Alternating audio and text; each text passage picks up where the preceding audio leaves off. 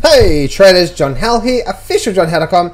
In this video, I'm going to go through a set of uh, a stock update, and this stock is um, I'm actually looking at trading it myself. I'm going to show you exactly what I'm seeing moving forward. So let's get straight into it.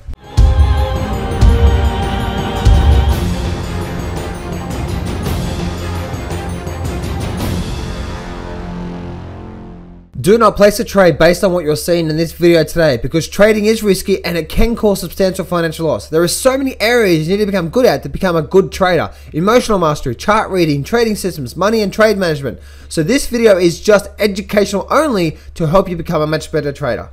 All right, let's have a look at ROP. RIP, we can see we're having it, we can see on RIP, we can see had a nice movement to the downside and we had a nice little support, little resistance, support, resistance, support, resistance, and now we're getting into this like this little pennant bear flag. This long-term trend line is actually this long-term weekly trend line coming up, and you can see how it's having a lot of problems through here. So if we do start to get a breakdown through here, then that might that that could be a nice little entry signal there. If I look, if I create a little parallel trend line from there to there, so the exact same trend line, and I just extend it out from there.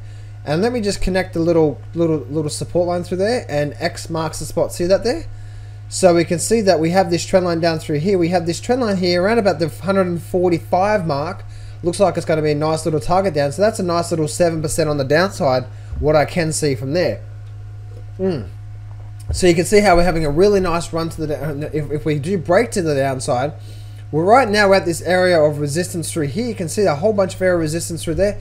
If we do get a nice breakdown, that could be another nice little breakdown to the downside, coming down to around about 145 mark.